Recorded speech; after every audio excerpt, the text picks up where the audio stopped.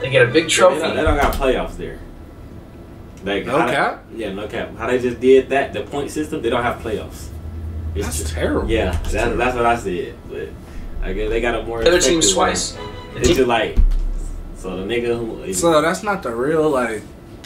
There's no real pressure.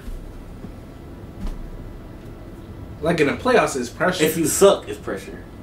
Yeah, that's tough. So they got something like called relegation. You can get bumped down the league if you the, if you the top three terrible teams. Mm-hmm. But I guess that's the pressure. But yeah, I don't know why they don't have playoffs. That'll be that'll make it way better. But Yeah. I guess they cause like look. 91 and the second place 66 it's not even close Yeah, that's so terrible. they could have just you know, like you said ain't no pressure A they lot of could have games, just, they would probably that's what I'm saying just chilling just chilling yeah you know cap Real talk grinding, yeah we shining. We yeah we rising to the top, man.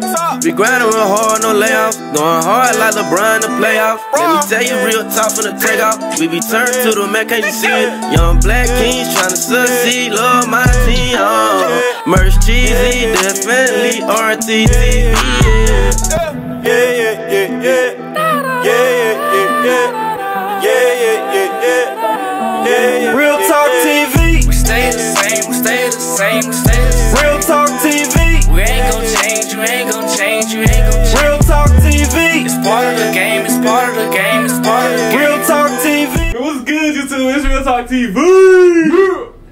be back with another banger, man. Y'all, this is Understanding European Soccer in Four Simple Steps, a guide for Americans. I know y'all been wanting us to watch that for a minute now, so make sure y'all like this video before it starts. Subscribe to the channel if you're new. Let's get it. Welcome to Understanding Soccer in Europe in Four Simple Steps, a guide for Americans.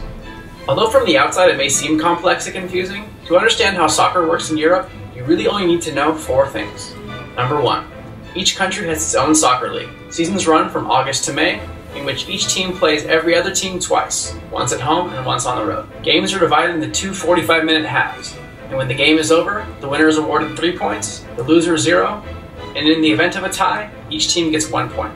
After each team has played all the other teams twice, the team with the most points is crowned champion of the league. They get a big They trophy. don't, they don't got playoffs there. Like, No how they- cap? yeah, no cap. How they just did that, the point system, they don't have playoffs. It's That's just- terrible. Yeah, That's that's, terrible. that's what I said. But I guess they got a more the other teams effective one. twice. The It's just like so the nigga who So that's not the real like. There's no real pressure. Like in the playoffs, is pressure. if you suck, it's pressure.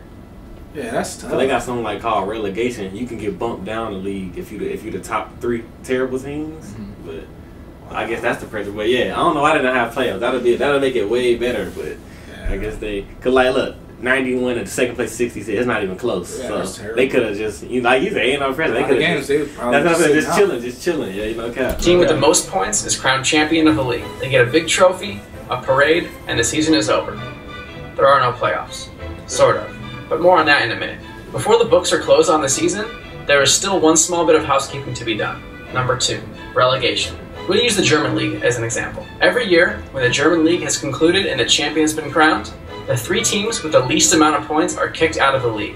This process is known as relegation. I said, that's the no, the NBA shouldn't do that. Like, they're losing business doing that, Bro, bro. come Like, you on, just bro. kick a team. Come on, bro. The they got fans. They have a fan base.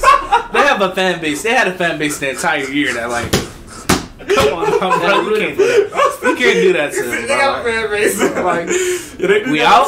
Like, Well, you gotta so be they good. the fans just like so shit. We out. Imagine the bottom three teams. Them niggas gotta be playing. Like, imagine you them. You coming into the game like, nigga, we finna get kicked out.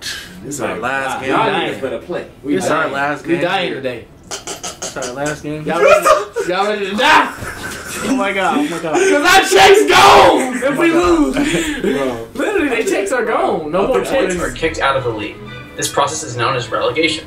The three vacant spots are subsequently filled by the top three teams from Germany's second division. And unlike, say, baseball in the US, teams in the second and subsequent divisions are not owned by teams in the top division. Imagine if the Pittsburgh Pirates or Oakland Raiders had to fight at the end of each season just to stay in the league.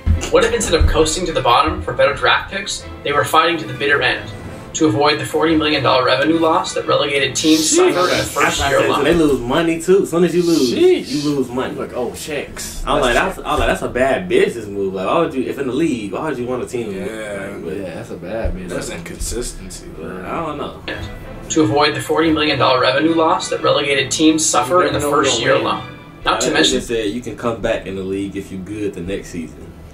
That's. But that's a whole season. That's- that's a forty whole million season. missed That's- out that's what I'm on. saying. That's a whole missed season. forty million that year. Right, you missed 40 million that year. Knock out, knock that in. England, nine different teams have gone financially insolvent within five years of relegation. Oh. Okay, interesting enough, you're thinking. But what about that whole lack of playoffs part?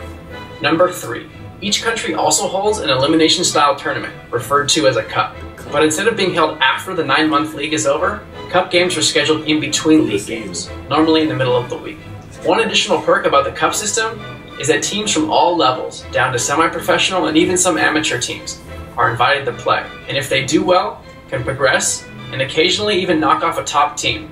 I don't So like that, year- though, that they do the cups throughout the league. They Yeah, just had a cup. They had a cup the other day, like yesterday and yesterday. They just throw it in them in between. That's just weird. I, don't, I said I, I think they should do it after, but well, can progress, and occasionally even knock off a top team. So every year, these midweek elimination games continue until there are only two teams left who play each other in the cup final. After 90 minutes, a cup champion is crowned, they get a trophy, and a parade. So, between the league and cup games, we get a great picture of the best and worst teams in each They do it country in the are. middle of the season. But wait a second, you ask. What would happen if the best teams from each country in Europe all got together and played each other? Good idea. Number four.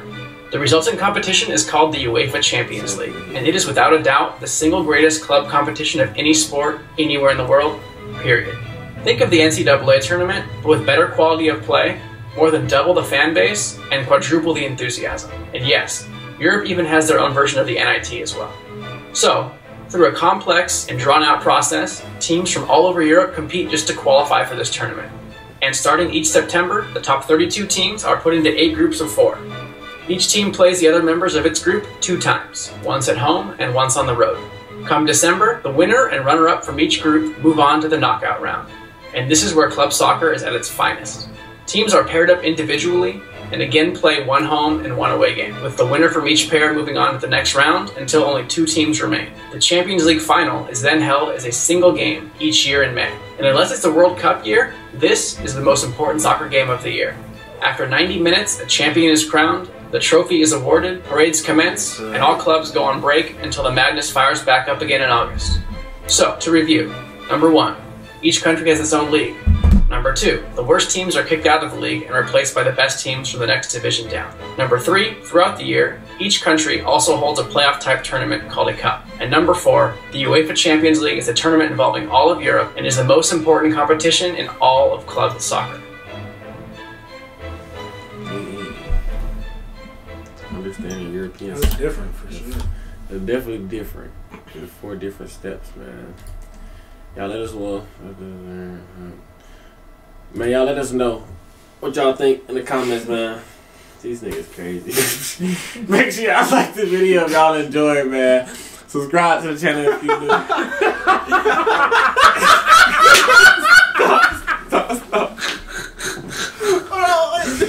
Ah, if, if y'all watching right now, make sure y'all go join our Twitch live streams, man. We live every single Saturday, man. That's what that's that's pretty much that's what we laughing at, man. The chat. So make sure y'all join those. We live every week. Make sure y'all like this video if y'all enjoy. Subscribe to the channel if you new.